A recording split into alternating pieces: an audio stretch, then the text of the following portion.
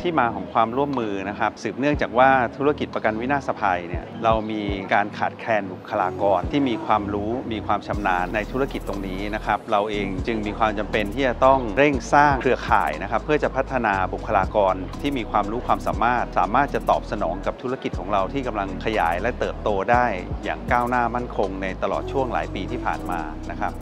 เลยทำให้เกิดความร่วมมือกับสถาบันการศึกษาชั้นนำด้านการประกันภัย 12 แห่ง ซึ่งหนึ่งในนั้นก็คือทางสถาบันเทคโนโลยีพระจอมเกล้าเจ้าคุณทหารลาดกระบัง กิจกรรมในวันนี้ก็จะเป็นก้าวหนึ่งที่จะนำพาน้องๆนะครับให้เห็นโอกาส และก็มีความเข้าใจถึงธุรกิจประกันวินาศภัยในประเทศไทย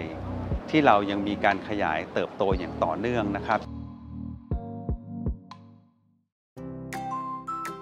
ที่เรามีความร่วมมือกันนะคะ กับทางสมาคมประกันวินาศภัยไทยนะคะ เราก็ได้รับความอนุเคราะห์นะคะ ไม่ว่าจะเป็นด้านการเรียนการสอนหรือด้านกิจกรรมต่างๆนะคะอ่าซึ่งเมื่อผ่านมาเนี่ยเรามีกิจกรรมนะคะที่ทางสมาคมเนี่ยมีสมาชิกนะคะของบริษัทของสมาคมประมาณ 14 บริษัท ที่มาร่วมออกบูธนะคะทำให้นักศึกษาเนี่ยค่ะได้เข้ามาเรียนรู้ว่ามีการรับสมัครงานนะคะ หรือรับสมัครสหกิจนะคะ ให้กับนักศึกษา และยังมีการจัดกิจกรรมในการอบรม ให้ความรู้กับนักศึกษานะคะ ไม่ว่าจะเป็นด้านการเขียนรีซูเม่